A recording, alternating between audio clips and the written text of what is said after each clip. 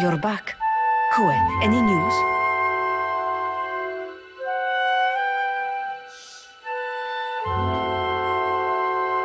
Kue, this is a nightmare. What of the gloves?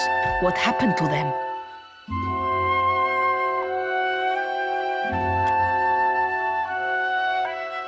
Have we come to this then? Am I really paying for my own property? Fine. 500 pyres. Ondra's teats. 600 then. I am so very done with this.